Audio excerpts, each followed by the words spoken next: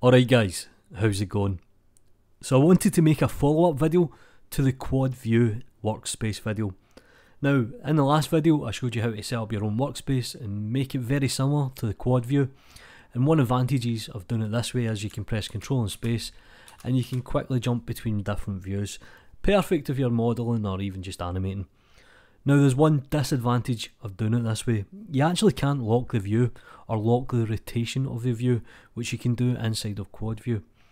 But the irony is, there's actually an underlying function inside of Blender that's just not exposed. And if you actually jump onto GitHub, you can see here there's actually a script that exposes this feature.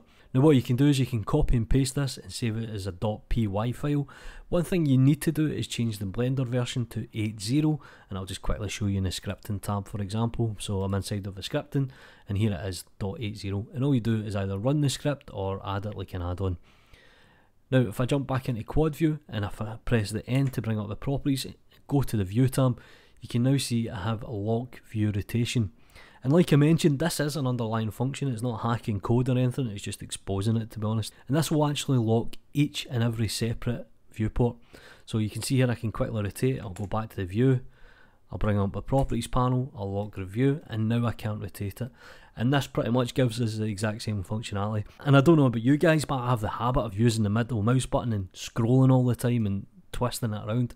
So this actually locks the viewport. And the great thing about this is it can actually be used on any kind of viewport to be honest. So that's pretty much the lock view rotation script. It's a great little script. Do me a favour guys, like the video, subscribe to the channel if you haven't already. Follow me on Twitter, support me on Gumroad, you know what to do. Take care.